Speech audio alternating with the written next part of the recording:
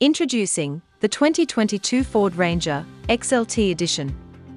The Ranger is a four-wheel drive, four-door dual-cab ute with five seats, powered by a 2.0-litre twin-turbo diesel engine that has 154 kilowatts of power and 500 newton-meters of torque via a 10-speed automatic transmission.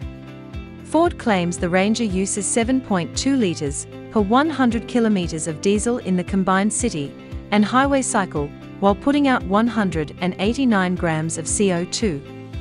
It has a 80 litres fuel tank, meaning it should be able to travel 1,111 kilometres per full tank.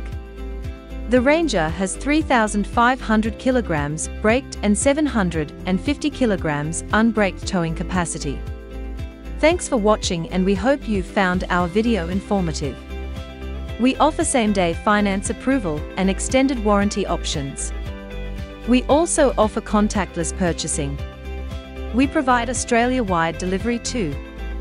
If you have any inquiry, please do give us a call and one of our representatives will be able to answer any of your queries.